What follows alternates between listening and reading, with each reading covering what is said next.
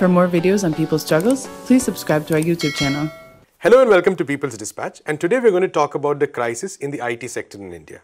India's IT sector is worth billions of dollars and is a major source of employment for hundreds and thousands of people.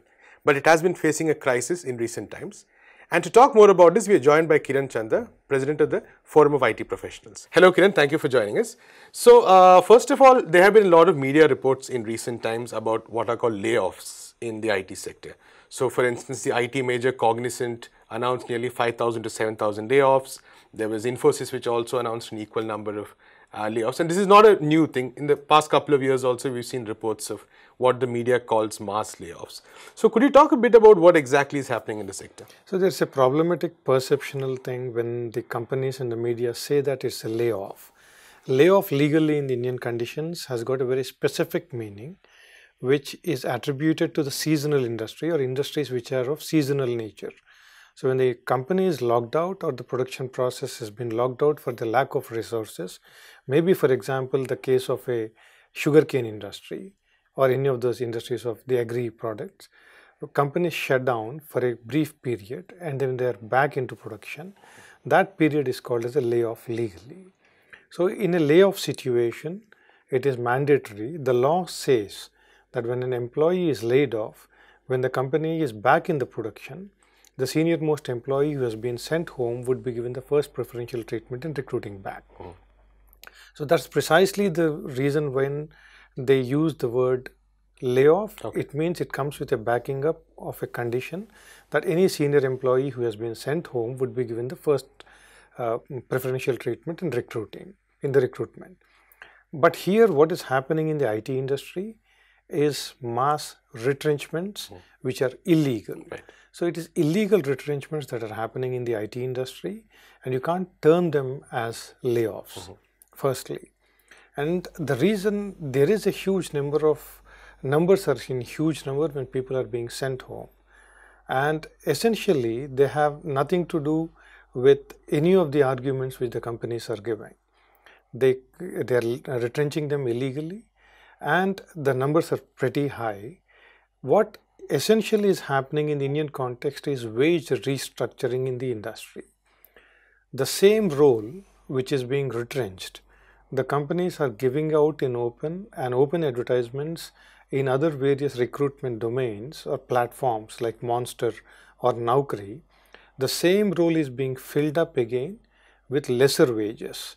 So what essentially is happening in the IT industry they are restructuring the wages, employees are being fired indiscriminately and people are being hired for low wages. Right. So this is a process that has been happening in the, uh, it is a violation of the Indian law and uh, people are organizing themselves and fighting it back. Right. So uh, one of the, uh, some, some of the arguments given by the companies is that one, there is a lot of automation going on and which is the reason for them having to cut their workforce. Then there's the argument that many of these people, many of these people are, their roles are redundant or many of them don't have the necessary skills considering the kind of shift in emphasis by many of these companies. So do these arguments actually make any sense or is it just an excuse? So um, you have asked multiple questions in this. Let us take the first one, first point that you uh, termed it as automation mm -hmm. and artificial intelligence. Right uh, radically changing the nature of IT. Yes, it is true that artificial intelligence will change the nature in which IT is being there or the automation of IT itself. Mm -hmm. But we are nowhere near to that. Okay. So IT industry is automating itself. It is true. It has been happening for a period. And now all the jobs that are being uh, closed are not as a consequence of the automation of the IT industry in itself per se. It is a process that is going to happen in the future. But have we matured to that level as of today? No. Right. Because when you look at the recruitment patterns in the IT industry, the headcount of the IT industry has not gone down significantly. If IT industry were to be assumed that as a consequence of automation, the jobs are going, it would be a, a net, a net reduction in the total number Workforce. of employees in the company yes. also, which is not true. And if you look at the recruitment patterns and the skill set for which recruitments are happening, the large scale of them are, as I have already pointed out, it is restructuring of the wages because we have a huge amount of reserved army of workable professionals, uh, close to uh, twice the number of the people who have been uh, absorbed into the industry are outside waiting for jobs. So, thus gives a favorable condition for the IT corporations to violate the laws hmm. and the government is not responding to it. That's the first part of it. And when you look at the second aspect of it, when you consider role redundancy or these are a certain baggages hmm. which the companies on the one hand are sending away professionals brutally out and attaching them or tagging them with a lot of baggage, making their lives miserable and giving them or making their options of getting a job even more vulnerable. They're being pushed into a very vulnerable situation. What does this role redundancy mean? When the projects or ongoing projects are going on, companies persuade IT professionals not to change their domain precisely because the area of work. When you say domain, you mean the yeah, technology, domain, technology, yeah. technology, and also domain. Right. If I were to work in a telecom domain on a particular technology, they would not want me to move from it. Let us take the classical example of mainframes. With the advent of cloud, the entire mainframe infrastructure is moving out. But a professional has been forced by the corporations, IBM, which is in firing IT professionals in a big way now in India, when they were firing IT professionals, IBM mainframes, they have been persuading people not to move out of mainframes because they would be the highly billable resources. Right. Because billing of resources happens based on the seniority. Hmm. Seniority. So 15 to 20 percent of the professionals were persuaded by the corporations not to move from the discipline that they have been working on to maximize their profits then. And now, there is something called as industrial establishment standing orders in India where you will have to notify saying that what are the total number of roles that a corporation is creating and for what purposes are you taking them in. So, if there is a change of nature of employment, it is the responsibility of the corporation or the company to train the IT professionals to upgrade their skills and then move on. So, I am speaking about a very narrow percentile of 15 to 20 percent of the IT professionals who have, were stuck with a particular trade or a particular discipline just because of the compulsion from the corporations themselves. And when you look at the rest of the 85 percent of the IT professionals, if you look at the resumes of the IT professionals in the IT industry, everyone has gone through over a change of five different variants of technologies. Uh -huh. And the people who are being fired, look at the age anyone who is about 10 years of experience is becoming vulnerable and they're firing them. If you look at any IT professional who has worked for 10 years in an IT industry, with the majority of them, close to 85%, they would have transformed themselves with five, five to six different variants of technologies. It means they have been upgrading themselves. Right. If you look at the budgets and the spending and the expenditures of all these corporations, nowhere there would be an expenditure of upgrading their IT pro, their employees work-base or training the work boy, employees work-base into a new sector or new new technology. So all this the IT professionals have done it from their pockets. They have paid themselves through the non-formal education mechanism that exists in India or in all the metros. So IT professionals have upgraded their skills and despite which they have been tagged and then sent out. Right. This is a serious cause of concern. Mm. On the one hand, they are violating law. Second hand, they are making their lives of these IT professionals miserable and vulnerable to an extent that when they are firing an IT professional, the insurance that is being provided, employees insurance that is being provided particularly in the lines of health and health insurance has been cut off. It means he is going to be just vulnerable. Just look at any of the eh, new generation industries, they just wash their hands off from taking up any of the welfare measures which otherwise are elementary to be provided. You look at all the IT majors, Pune, Mumbai, Delhi, or I could say Gurgaon, Noida, Hyderabad, Bangalore, or Chennai, any of these places. In no place you have one school, one hospital, or one college set up by these IT giants cooperatively put together or collaboratively put together in the interest of IT professionals. Right. But if you look at the port industry, they had their own school. Mm-hmm. So on the one hand, they have washing off their hands from all social responsibilities, brutally violating law, adding uh, ta- tags and baggages to the IT professionals Right. and also making them vulnerable from even the elementary healthcare system, the insurance which the IT professional pays from his pocket. We need to understand that these corporations don't even pay a single paise. It is the IT professional who pays it as a group insurance. Even that they are truncating off, making it is more vulnerable and miserable. And this is made worse by the fact that the industry, the culture of the industry itself has involved treating employees as individuals. The performance appraisals, the discussions with the HR, for instance, and they do not. There's active discouragement of any attempted unionization or any attempted organization. I think, yeah, well, there is, we'll have to look at how the IT industry is organized. The new generation industries have been organized. So they have ensured that the work is fragmented such that each employee is pitched against the- his co-employee. A developer's team is pitched against an, uh, pitched against a testing team, and the developers themselves, the on-site developer and the developer at the main office, are against pitched against one another. Right. So it created. It was built on a structural arrangement where the necessary conditions for people to get have a homogeneous culture at the floor level is basically balkanized. When they sit with each other also, they are just broken down and divided.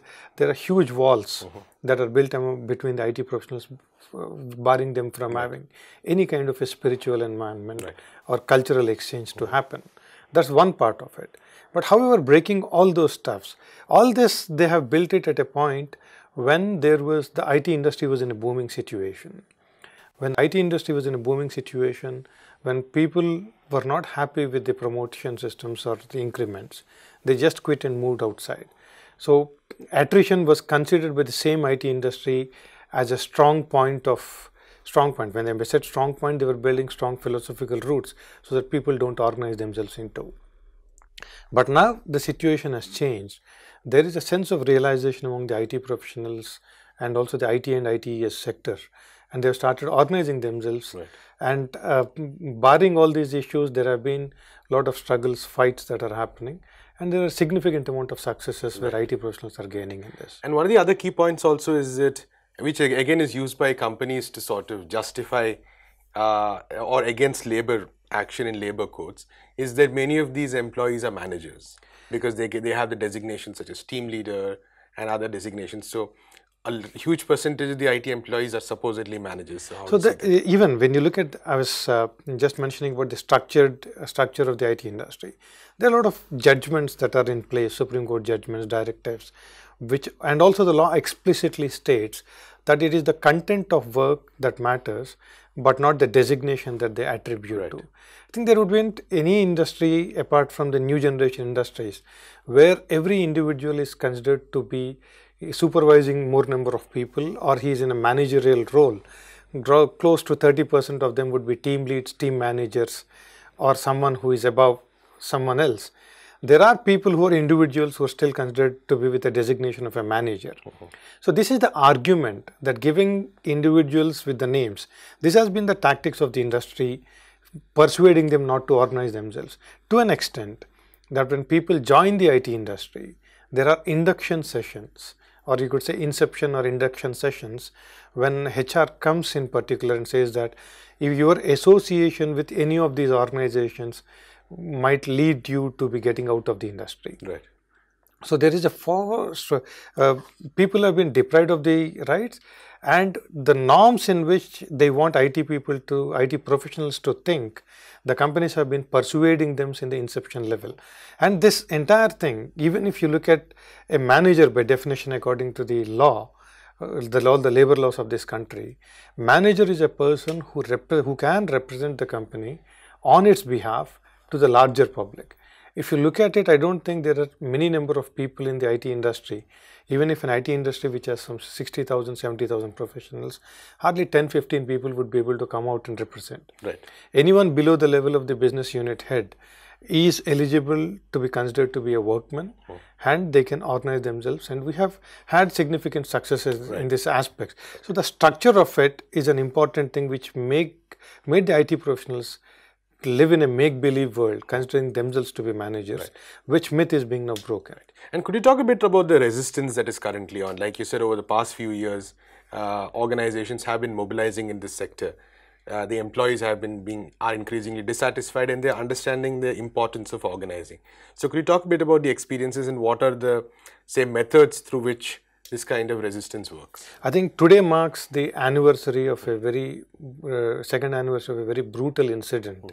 I would just want to bring it to your notice that when firing people in a multinational corporation called Verizon, bouncers, paramedics, psychiatrists, HR managers was a team that was uh, engaged in firing close to a thousand IT professionals across the country. Right. So this, uh, you see, the way in which they fire people, there was a, it was a very brutal way in which they engaged, and people have started resisting it. And there are close to 67 members who have filed a court case petition uh, in the High Court of Telangana. And apart from that, there have been arguments in the Labour Commissioner's office as a consequence of the pressure from IT professionals in Bangalore, Tamil Nadu, uh, Telangana, and other regions. Particularly Telangana region, where there were close to 2,500 petitions on the IT professionals.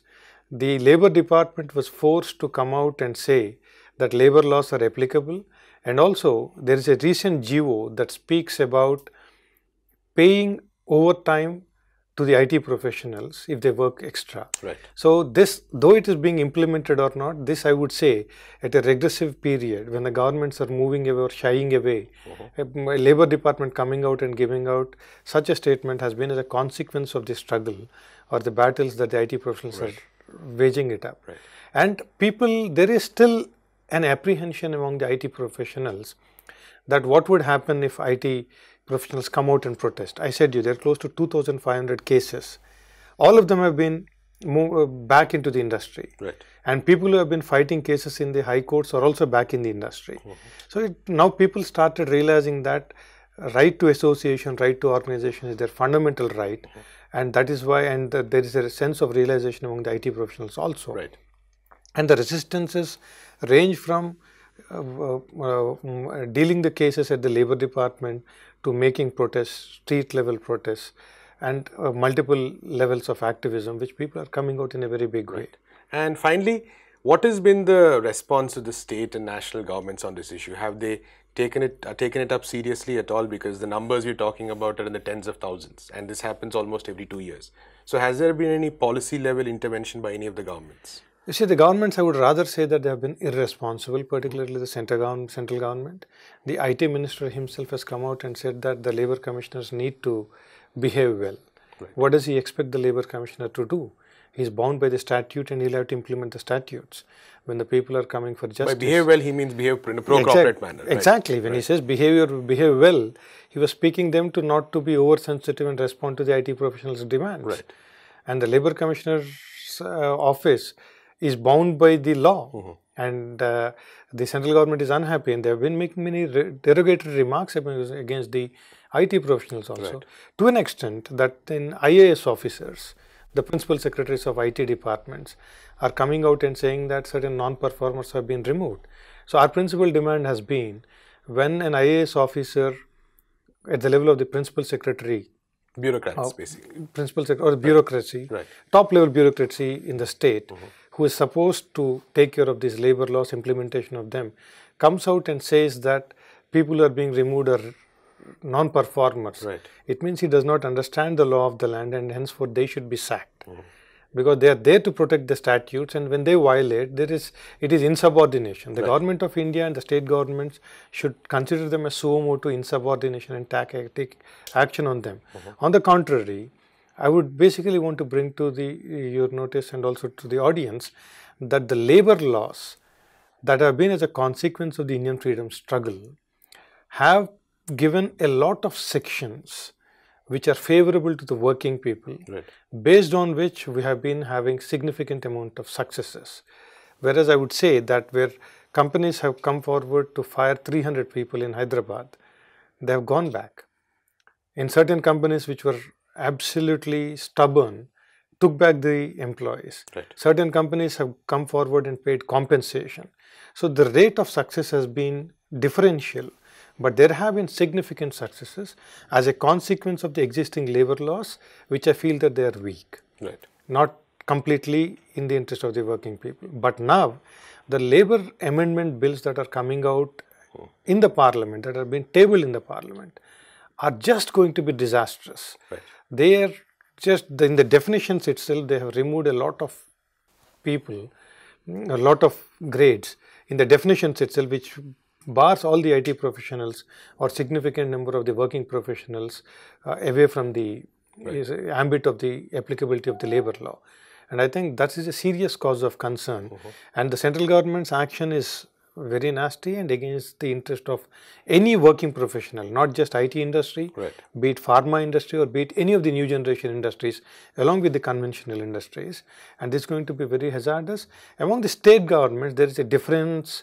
I would say there is Tamil Nadu relatively progressive, Kerala very progressive, Telangana they would say via media, they're in between. So there is a difference in the way in which the state governments are responding, but the central government is absolutely in a way that it is going to hit hard on any of the working people. Thank you so much, Kiran. Thank you very much. That's all we have time for today. Keep watching People's Dispatch.